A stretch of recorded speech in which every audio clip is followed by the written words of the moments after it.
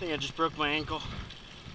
As you can see throughout this video, my camera's moving up and down. It's not because I'm shaking it, it's because I'm breathing so hard in absolute shock. Uh, I was going down this hill in my shoes like I always do to get to this one fishing spot below this dam, and I slipped because a rock gave out. So I threw my rods out and then fell, scraped my knee and all my hands. Um, luckily, that wasn't bad. It was the fact that my left ankle took all of the fall from about 15 feet.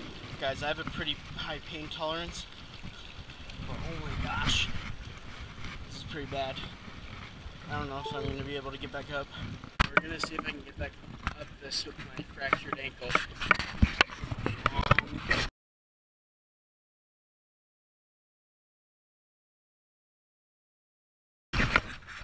Journey back up this thing. I'm screwed.